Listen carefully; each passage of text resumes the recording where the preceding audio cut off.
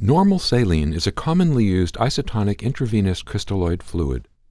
Although it was created to approximate the same osmolarity as human plasma, normal saline contains higher sodium and chloride concentrations than plasma, and its infusion can lead to hyperchloremic metabolic acidosis and kidney injury. Balanced crystalloid solutions, such as lactated ringers and Plasma-Lyte A, have more physiologic electrolyte concentrations and thus may have less negative impact on acutely ill patients.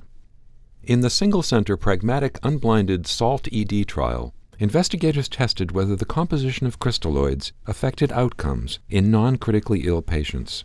Over 16 months, the trial enrolled 13,347 adults who received 500 milliliters or more of isotonic crystalloids in the emergency department and were subsequently hospitalized, but not in an ICU.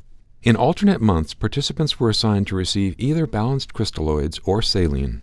The median crystalloid volume received was 1,079 milliliters, and 88.3% of patients received only the assigned fluid.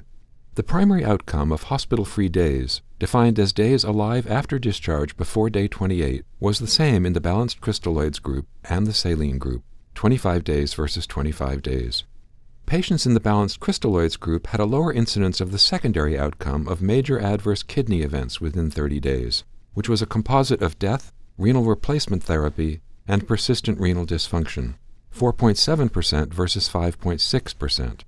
A concurrent study performed among critically ill patients also showed a reduction in major adverse kidney events within 30 days 14.3% with balanced crystalloids versus 15.4% with saline. The authors conclude that among non critically ill adults, balanced crystalloids and saline resulted in no difference in hospital free days. Full trial results are available at nejm.org.